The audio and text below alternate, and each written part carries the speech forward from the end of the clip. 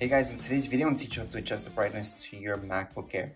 Now, it does depend which MacBook Air you guys have, but for most of you, it's going to be these two keys up here. So what I can do is just turn down the brightness just by pressing the left key right beside my escape key. And that's going to turn it down, turn it down, turn it down. I can turn it down the whole way. It's going to turn black, which is fine. And then we can just turn it all the way up if that's what we want.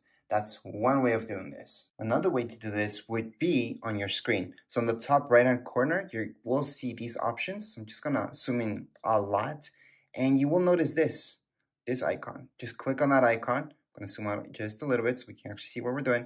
And right here's my display. So I can actually turn this down and you will notice it gets darker or I can make it go a lot lighter.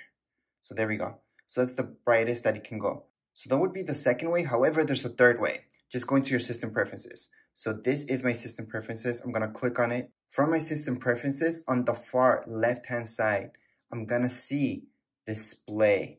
So just click on display. And right here, I can also adjust the brightness. So as you can see, I can turn this down or I can turn it up. Plus, what I could do is automatically make it adjust the brightness. So you see this check mark here, it says automatically adjust brightness.